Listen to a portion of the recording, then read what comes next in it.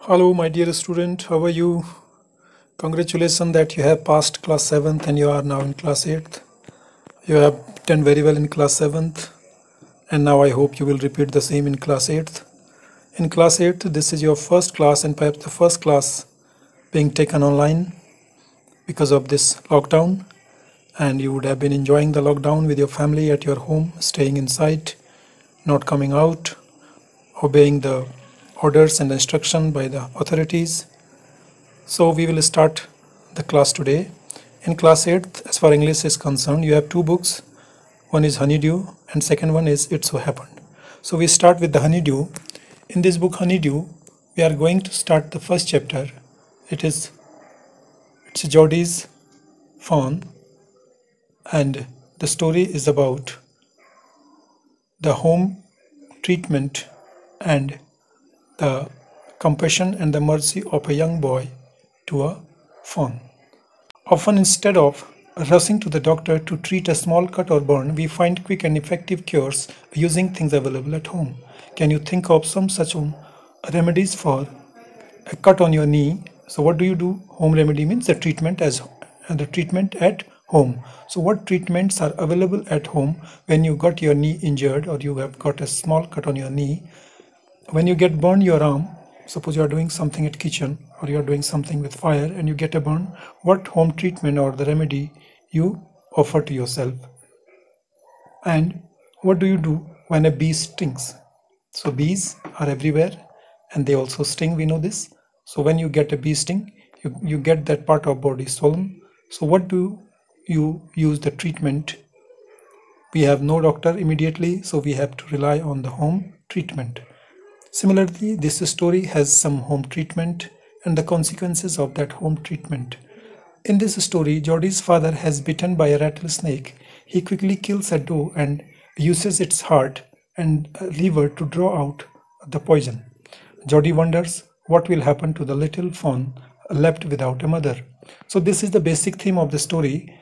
Uh, the story is of Jody's father when he was bitten by a rattlesnake. A rattlesnake are the most venomous, we can say one of the most venomous, poisonous snakes in the world called the rattlesnake. You would have heard about these dangerous snakes. So Jody's father is uh, bitten by such a snake.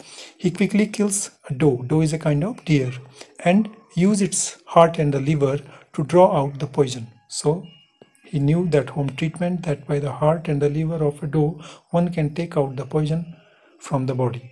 So Jody's father did the same Jody wonders what will happen to the little fawn left without a mother because Doe was killed by the father of Jody. So the young fawn was left all alone in the forest and Jody was worried about that fawn who has lost its so the mother. So we'll find out what decision did Jody take to save that fawn. So jumping directly on the story, we start. Jody's allowed his thought to drift back to the fawn. He could not keep it out of his mind. He had held it in his dreams, in his arms. He slipped from the table and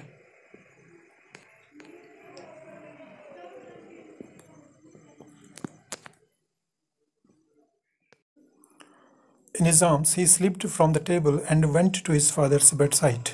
Penny lay at rest. His eyes were open and clear, but the pupils were still dark and dilated. Jody said, How are you feeling, Pa? Just fine, son. Old death has gone, thieving elsewhere, but uh, wasn't it a close sale? I agree, said Jody. Penny said, I am proud of you, boy, the way you kept your head and did what was needed. Pa, yes, son. Pa, do you recollect the doe and the fawn.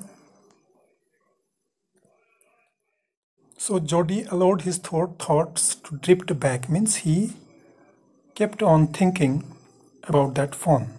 He could not keep it out of his mind, means that thought of fawn remained in his mind. He had held it in his dreams, in his arms. He saw the dreams as if he was keeping that fawn in his arms he slipped from the table and went to his father's bedside.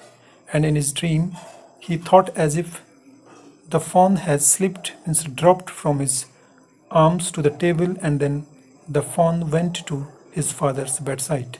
Penny lay at rest. Penny is the father of fawn. Uh, sorry, Penny is the father of Jody. So Jody, Jody's father was at rest in his bed.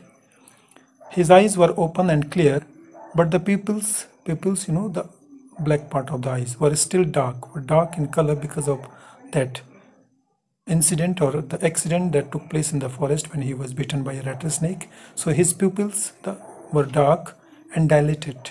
Dilated means flat and white, means wide opened pupils.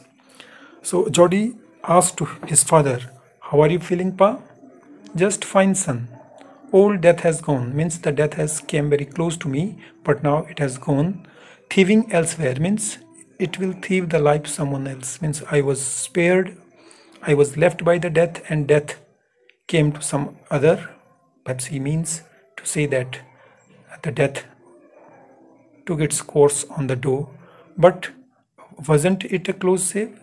He said it was a close save, means I was very, it was a narrow escape. I saved my life with a close call. It was a close call of death. I agree, said the Jody.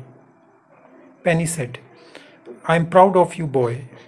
The way you kept your head. The way you kept your head means the way you thought you handled the situation and did what was needed. And you did what was important at the time of need. You did you did exactly what you need to do, so I am proud of you. Pa, yes, son. He said, Penny, when he says that his son remained calm, the way you kept your head and did what was needed means you kept yourself calm in a difficult situation. Jody said, Pa. Penny said, Yes, son. Pa, do you recollect the doe and the fawn? Recollect means remember, means to commemorate, to remind, to recollect the doe and the phone. Do you remember the doe and fawn? So this was the first part of the story in which you learned some of the difficult word like drift back to means go back to dilated means enlarged or widened. A close save means a narrow escape when you save by a close margin. Kept your head means stay calm in a difficult situation. So this was the first part of the story we go ahead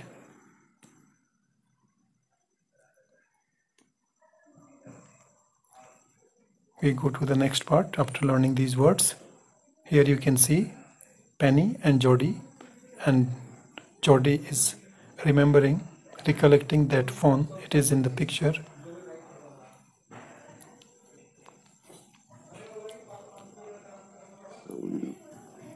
So we will learn some more words in the succeeding paragraph. That is hemmed in. Hemmed in means caught in a situation where one can't say no. Means when somebody asks you for something you are in a confusion but at least you cannot say no. Means you have to make yourself agree with the person you are hemmed in. Acorns acorns is small brown nuts usually given to the pets called acorns i can never forget them. The poor doe saved me that's certain said the Jody's father. How can I forget the doe and the fawn because the doe has saved my life? Pa, the fawn may be out there yet. It might be hungry and very scared. Scared means afraid of the things. Fearful. So, Pa, the fawn may be out there yet. Out there means in the forest. The Pa, the fawn would be in the forest all alone. He'd be hungry and very scared. He was very fearful in the forest. I suppose so, and I think so as well, said the Jody's father. Jody say, Pa, I am big boy now and don't need to drink milk. Why don't I go and see if I can find the phone And uh, bring it here, said the and raise it, said the Jody. Penny lay quiet, staring at the ceiling. Boy, you have got me hemmed in. It won't take much to raise it, Pa. It will soon start eating leaves and acorns. You are smarter than the boys of your age. We took its mother and it wasn't to blame. Surely it seems ungrateful to leave it to starve. Son, I can't say no to you. I never thought I'd live to see another day. Can I write back with Mill-wheel and see if I can find it? Tell your ma I said you can go, said the Jody's father. He settled back to the table and sat down. His uh, the mother was pouring coffee for everyone. He said, Ma, Pa says I can go bring back the phone. She held the coffee pot in midair. So we will explain the part we have read so far. So this was a discussion between Jody and Penny, means the son and the father. So he says, Pa, the phone may be out there, yet still it would be there in the forest. It might be hungry and scared. Means the fawn would be very hungry without uh, without the mother, and it would be very afraid of the things in the forest. I suppose so. Means I also think so. Pa, I am big now and don't need to drink milk. So Jody says that I am grown up now. I need no milk. So why don't I go see if I can find the fawn? Means I can give the all the milk that I take to that fawn. So if you allow, uh, I can go and find out that phone and bring it here, said the father. Means, do you want to bring that phone here and raise it? Raise it means look after it. To bring the phone at home and look after it because it is now, it has no mother. Penny lay quiet, staring at the ceiling. He was laying on his bed quietly and staring means looking intently. Staring means you look at something for a while, it is called staring. Ceiling. Ceiling of the room the upper part of the room. Means when you lay your uh, means when you lay on your bed you stare at the ceiling. We also use the ceiling fan. A fan that is hung on the ceiling is called ceiling fan. So he was laying quite penny was laying quite staring at the ceiling boy you have got me hemmed in. Hemmed in means when you are in a position when you are caught in a situation where you can't say no. Hemmed in. We have studied this term this phrase before. The meaning of this phrase is to be in a situation when you can't say no. So he says boy means my son you have got me hemmed in. I can't say no. It won't take much to raise it pa. It will soon start eating leaves and acorns. So very soon if we raise the um, that fawn and says uh, the boy said to his father that if they uh, look after if they raise that fawn that will start eating leaves and acorns very soon. You are he said Penny when he says that his son remained calm the way you kept your head and did what was needed means you kept yourself calm in a difficult situation. Jody said Pa. Penny said yes son. Pa, do you recollect the doe and the phone? Recollect means remember, means to commemorate. To remind, to recollect the doe and the phone. Do you remember the doe and phone?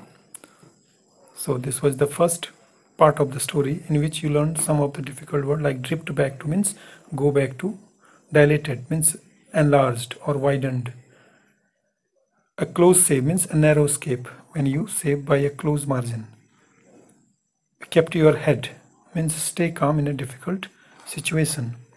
So this was the first part of the story. We go ahead.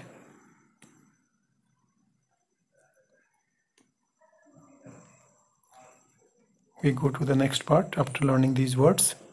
Here you can see Penny and Jody and Jody is remembering recollecting that phone it is in the picture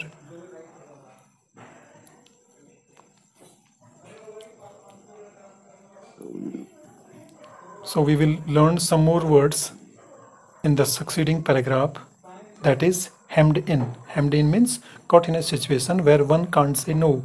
Means when somebody asks you for something, you are in a confusion, but at least you cannot say no. Means you have to make yourself agree with the person you are hemmed in.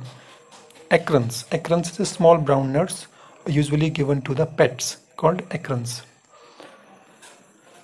I can never forget them. The poor doe saved me, that's certain, said the Jody's father. How can I forget the doe and the fawn because the doe has saved my life? Pa, the fawn may be out there yet. It might be hungry and very scared. Scared means afraid of the things. Fearful. So, Pa, the fawn may be out there yet. Out there means in the forest. The Pa, the fawn would be in the forest all alone. He'd be hungry and very scared. He was very fearful in the forest. I suppose so. And I think so as well, said the Jody's father. Jody say, Pa, I am big boy now and don't need to drink milk.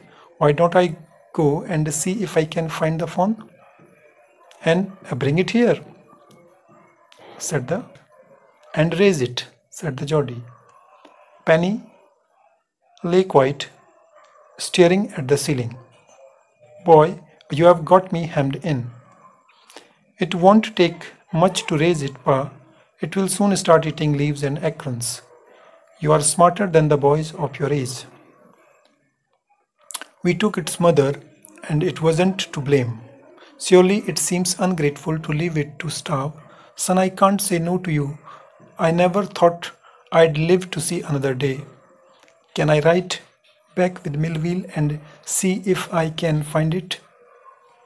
Tell your ma I said you can go, said the Jody's father. He settled back to the table and sat down.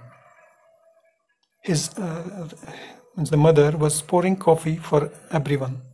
He said, Ma, Pa says I can go Bring back the phone. She held the coffee pot in midair. So we will explain the part we have read so far. So this was a discussion between Jody and Penny, means the son and the father.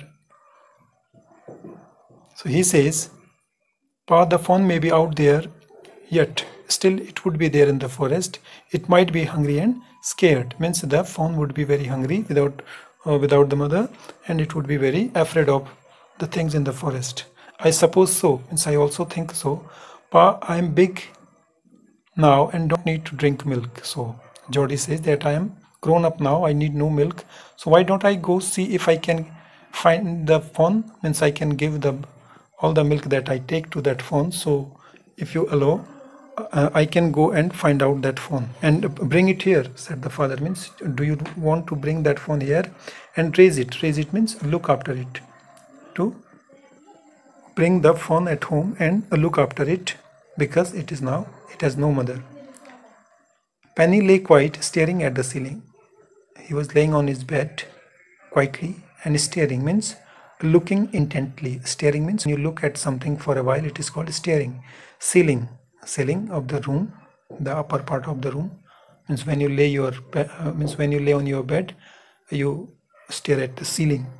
We also use the ceiling fan. A fan that is hung on the ceiling is called ceiling fan. So he was laying quite penny was laying quite staring at the ceiling boy you have got me hemmed in. Hemmed in means when you are in a position when you are caught in a situation where you can't say no. Hemmed in. We have studied this term this phrase before. The meaning of this phrase is to be in a situation when you can't say no. So he says boy means my son you have got me hemmed in. I can't say no. It won't take much to raise it pa. It will soon start eating leaves and acorns. So very soon if we raise the um, that fawn means he's uh, the boy said to his father that if they uh, look after if they raise that fawn that will start eating leaves and acorns very soon. You are so this was the first part of the story. We will continue this story in the next video. Till then, I give you some homework. You please note down. You may be having pen and pencil or pen or uh, pen and a notebook with you. So note down the homework. You have to find out all the hard words difficult words from this part of story and with the help of the dictionary you will write the meaning other than this you will also write the summary of this part of the story in your notebook so whenever you will come to school that work will be checked and if you will not do then you will be punished. If you will do then you will be applauded. So thank you for watching this. Hope you will continue to study. So stay at home stay safe. Thank you